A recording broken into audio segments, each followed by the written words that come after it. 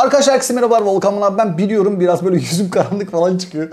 Kusura bakmayın ama elektrikler kesik. E, ofiste maalesef elektriklerimiz kesildi. Aslında şöyle bir şey vardı bende. Bu böyle işte ışık yapıyor buradan falan. Bunu kullanabiliriz diye düşünüyorum ama bunun da kullanmıyor kullanmıyor. Bunun da elektriği bitmiş. Neyse dediğim gibi maalesef böyle bir durum var. Şu anda e, biraz dediğim gibi yüzüm böyle kırmızı falan filan çıkıyorsa e, biraz renk yaparak e, bunu atlatmaya çalışacağım ama Hani en azından bu konuyu bilin. Şimdi OnePlus 9 Pro ve OnePlus 9'un bugün Türkiye'de e, resmi olarak fiyatı duyuruldu. E, yani açıkçası şimdi ben biraz fiyatlarını karşılaştırmak istiyorum. E, sevgili gelen yönetmeniniz Mustafa Kılıç bu konuda çok güzel bir haber yapmış. Mutlaka mutlaka bu haberi okuyun. Teknoburan.net'te var. Ki biz OnePlus 9 Pro'yu e, tüm incelemelerini de yaptık. Mutlaka onun da testlerini e, zaten bu video içinde paylaşacağım. Mutlaka onu da onları da İzleyin arkadaşlar. Şimdi OnePlus 9'un arkadaşlar fiyatı 8 GB RAM'li model ve 128 GB depolama olan modelin fiyatının 11.499 TL olduğunu gördük. OnePlus 9 Pro ise 256 GB hafıza ve 12 GB sistem belleği ile gelen telefonun fiyatının 14.499 TL olduğu açıklandı. Şimdi tabii yani aslında Mustafa da yazmış burada işte amiral gemisi bir işte amiral gemisi katili bir şirketin açıkçası fiyatları bu kadar yükseltmesi falan haklı aslında bir noktada ama şimdi ben Avrupa'daki fiyatlara baktım. İşte Avrupa'da telefonun fiyatının OnePlus 9'un arkadaşlar 750 Euro'dan satıldığını görüyoruz. OnePlus 9 Pro ise 1082 Euro civarlarında bir fiyattan şu anda e, Avrupa'da satılıyor. Ve baktığınız zaman aslında yani şu anda telefonlarda biliyorsunuz zaten %50 ÖTV var. %18 KDV var. BTK paraları var. TRT bandrolleri var. İşte millileştirme var. E-mail ile ilgili işlemler var. Yani çok fazla işlem ve çok fazla vergi var. Bana şimdi Avrupa fiyatıyla karşılaştırdığımda Türkiye'de böyle sanki bir benim gördüğüm kadarıyla 3000 TL civarlarında bir vergilendirme konmuş gibi görünüyor ki valla bana sorarsanız fiyatlar çok da uçuk değil. Şimdi e, ya OnePlus aslında OnePlus 9'u iPhone 12 Pro'nun karşısına koyuyor ve Samsung tarafında da Galaxy S21 Plus'ın arkadaşlar karşısına koyuyor. OnePlus 9 Pro'yu ise iPhone 12 Pro Max'in ve Samsung Galaxy S21 Ultra'nın biraz karşısına konuşlandırıyor. Aslında bu şekilde baktığımız zaman fiyatların yine OnePlus tarafında çok da pahalı olmadığını görüyoruz. Çünkü baktığımız zaman bugün itibariyle Samsung Galaxy S21 Plus'ın 12.999 TL'den satıldığını görüyoruz. Galaxy S21 Ultra ise 15.999 TL'den satışa sunuluyor ki bu noktada dediğim gibi OnePlus 9 Pro aslında buradaki bu segmentteki telefonlara göre hem OnePlus 9 için aynısını söyleyebiliriz. Daha uygun fiyatlı bir çözümmüş gibi görünebiliyor.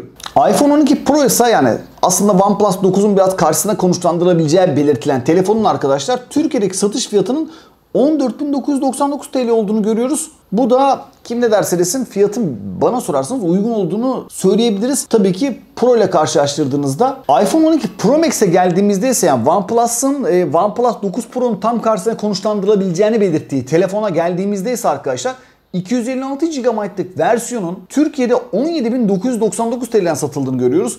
Yani e, baktığınız zaman tabii ki burada OnePlus 9 Pro'nun 256 GB hafıza ve 12 GB RAM'li modelinin Türkiye'de 14.499 TL'ye satıldığını gördüğümüz zamansa arada 3500 TL civarında bir yanlış hatırla hesaplamadıysam bir fiyat farkı olduğunu görüyoruz ki bana sorarsanız aslında bu noktada da OnePlus 9 Pro'nun fiyatının çok da kötü olmadığını görüyoruz. E tabii ki bu telefonu yani e, Mi 11 ile de karşılaştıran mutlaka olacaktır. Yani işte Xiaomi Mi 11 abi işte o 10.000 TL'nin biraz altında falan filan işte onda da Snapdragon 888 var diyecek de birçok insan vardır ama şimdi OnePlus 9 Pro'nun aslında muadil telefonuna baktığımız zaman takdir edersiniz ki burada e, Xiaomi'nin Mi 11 Ultra modeline bakmak lazım.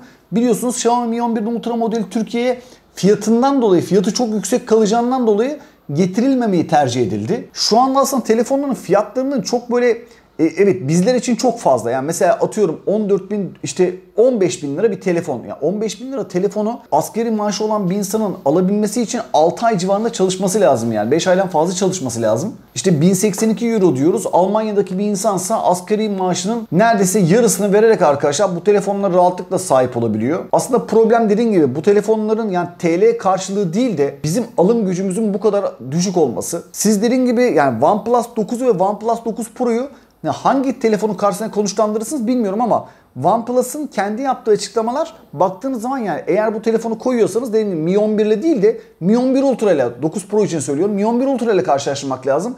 Dediğim gibi daha alt segment telefonlarla karşılaştırdığınızda bu noktada gerçekten de hani biraz dediğim gibi yanlış bir kıyaslama yapmış olursunuz diye düşünüyorum. Fiyatlarla ilgili sizin de düşünüyorsunuz. Açıkçası ben bakın OnePlus 9'un OnePlus 9 için söylüyorum. Yani fiyatının ya 10 binin bir tık altında olabilmiş olsaydı ama görüyoruz ya fiyatları da dediğim gibi yani 750 Euro'dan bahsediyoruz. Ya bugünkü Euro fiyatıyla arkadaşlar yani sadece OnePlus 9'u bile karşılaştırdığımızda 2800 TL civarında hatta 8000 TL civarında bir rakama tekabül ediyor.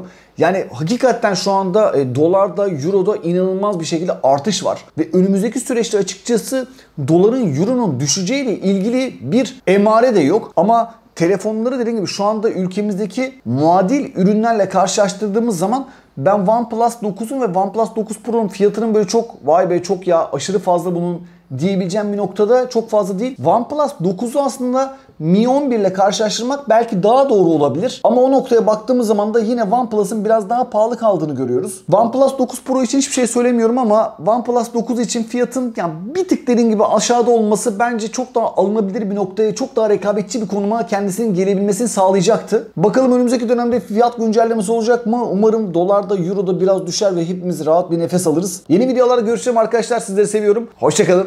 Bay bay.